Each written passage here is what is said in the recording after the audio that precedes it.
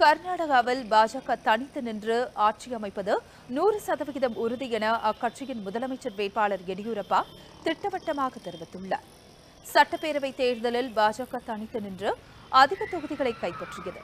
இதை அடிப்படையாக கொண்டு பாஜக முதலமைச்சர் வேட்பாளர் எடியூரப்பா ஆளுநர் வாஜ்பாய் வாலாவை சந்தித்து ஆட்சி அமைக்க உரிமை கோரினார். இந்த சந்திப்பிற்கு பிறகு செய்தியாளர்களிடம் பேசிய எடியூரப்பா கர்நாடக தேர்தலில் பாஜக தனிப்பெரும் வெற்றி கட்சியாக உருவெடுத்திருப்பதாகவும் சட்டப்பேரவையில் பெரும்பான்மையை நிரூபிக்க ஆளுநர் கால அவகாசம் அளித்துள்ளதாகவும் தெரிவித்தார். மேலும் கர்நாடகாவில் பாஜக ஆட்சி அமைப்பது நூறு சதவிகிதம் உறுதி என்றும் எடியூரப்பா கூறினார். முன்னதாக மாநில கட்சி அலுவலகத்தில் செய்தியாளர்கள் சந்திப்பில் பேசிய எடியூரப்பா பின்வாசல் வழியாக காங்கிரஸ் ஆட்சி அமைக்க முயல்வதாகவும் காங்கிரசின் தற்போதைய செயல்பாடுகளை வன்மையாக கண்டிப்பதாகவும் தெரிவித்தார்.